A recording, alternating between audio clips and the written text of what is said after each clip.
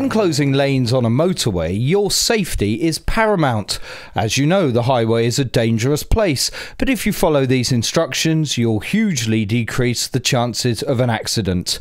These procedures mean the days of having to cross live running lanes in order to facilitate a closure are now over. Firstly, we'll show you how to install and then remove a closure from lanes 1 and 2, working from the hard shoulder. Before starting the installation, carry out the required traffic counts from a safe place. Then announce your presence on the network and inform the RCC or NCC of your SRW reference and request gantry sign assistance if present. Once authorization is granted, commence installation. Begin by putting up the workforce in road warning sign.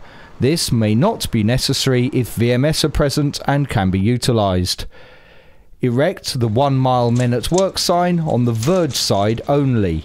Then erect the 800, 600, 400 and 200 yard signs. The lead-in taper cones are now placed from the footwell or low-level platform of the Traffic Management Installation Vehicle TMIV along the rib line.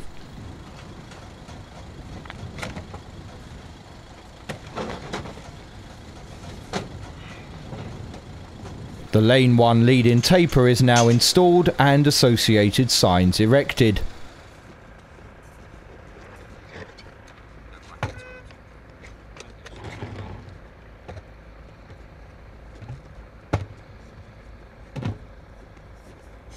The lane 2 lead-in taper cones are now placed from the footwell of the TMIV along the lane 1-2 line.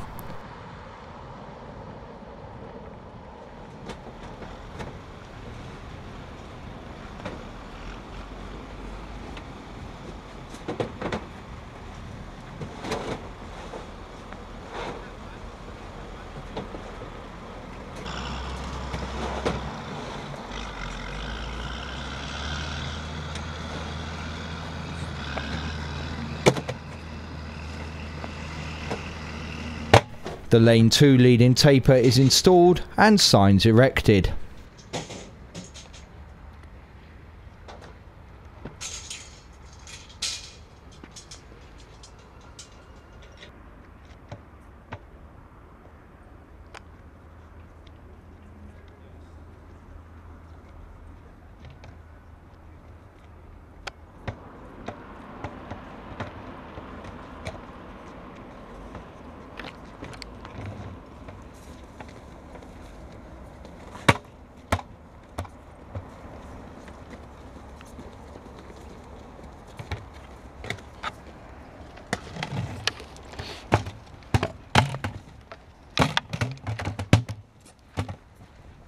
Now install the longitudinal coning detail and install a works access point with associated signing. The longitudinal coning is placed from the footwell or low level platform of the TMIV. Finally, erect a men at work end sign. Once installation is complete, carry out a maintenance inspection of the installed closure. Inform the client that the closure can now be entered via the works access.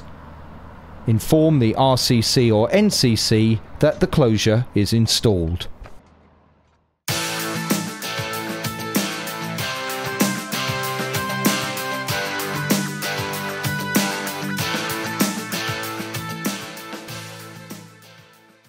Now it's time to show you how to remove the installation.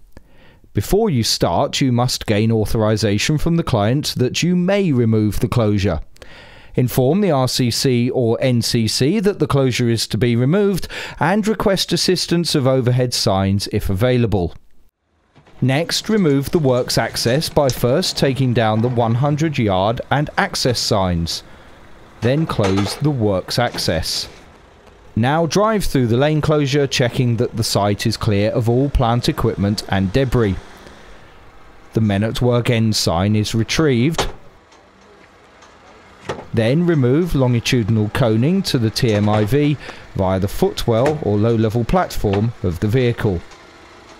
Once the TMIV has collected the longitudinal coning detail to the 200 metre safety zone, the TMIV will manoeuvre onto the hard shoulder in preparation for the collection of the lead-in tapers. Walk in the 200 metre safety zone and lead-in taper to the lane 1-2 line. Now the lead-in taper cones and associated signing is collected onto the TMIV. Once the closure is removed, you must inform the RCC or NCC. Then remove the workforce in road sign, the 1 mile, 800, 600, 400 and 200 yard wicket signs. And once everything has been removed, inform the RCC and NCC and furthermore confirm that the crew is leaving the site.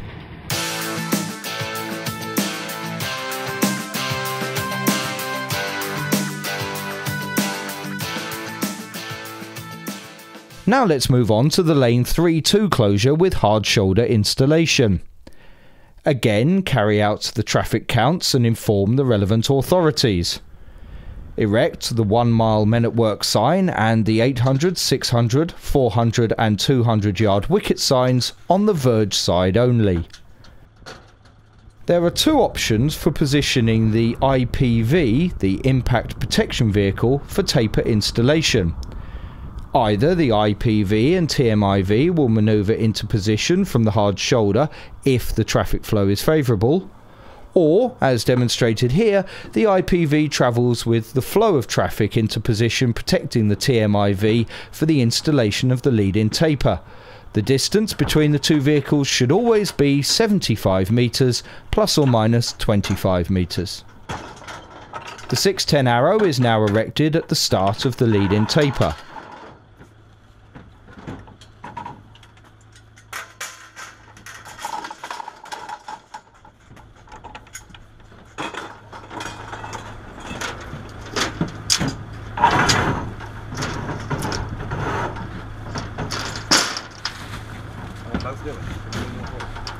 The cones are placed in the central reservation from the footwell or low level platform of the TMIV, and longitudinal coning should be placed from the TMIV.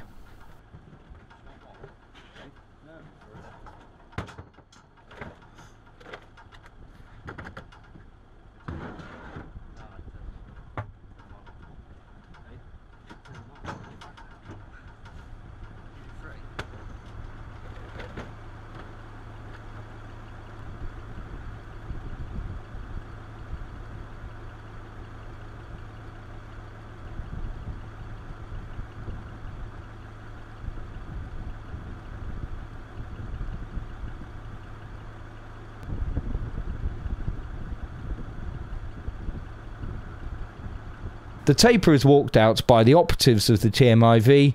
The end of taper 610 block board is erected.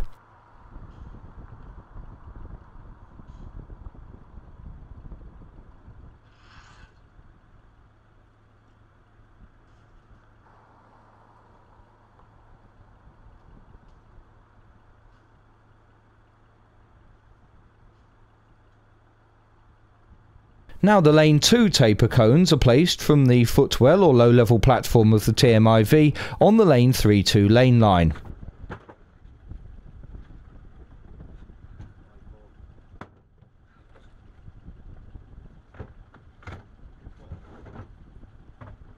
The lane 2 lead-in taper is installed and associated signs erected.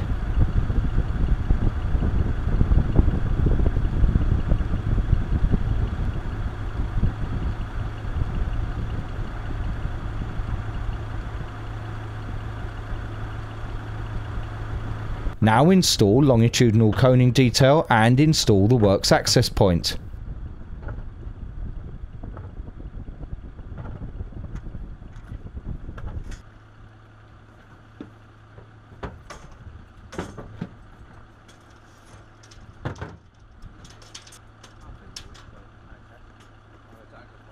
The longitudinal coning is placed from the footwell or low level platform of the TMIV. Now erect the Men at Work end sign. Once you have completed the installation, carry out a maintenance inspection of the installed closure. Inform the client that the closure can be entered via the Works Access and inform the RCC or NCC that the closure is installed.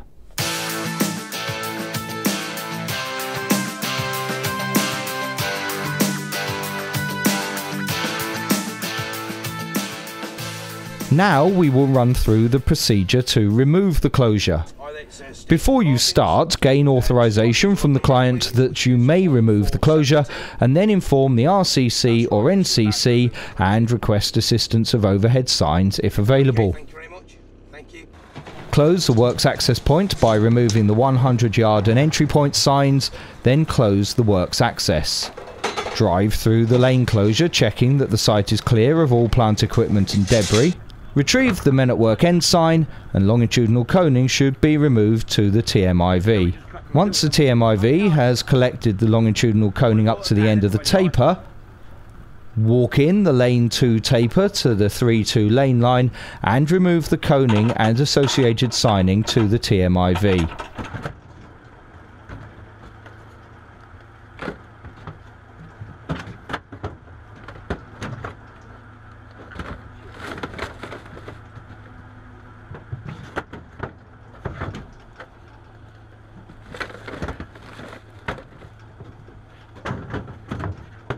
The IPV is now positioned in preparation for the removal of the lane 3 lead-in taper. The lane 3 lead-in taper is walked into the central reservation. The IPV and TMIV drive around the closure via adjacent junctions and take up position in lane 3 at the start of the taper. And the coning and associated signing is removed to the TMIV, driving with the flow of traffic. Once this is removed, you must inform the RCC or NCC. Then remove the Workforce in Road sign, the one mile men at work sign, and the wicket signs. Finally, once all advances are removed, inform the RCC or NCC and announce that the crew is leaving the site.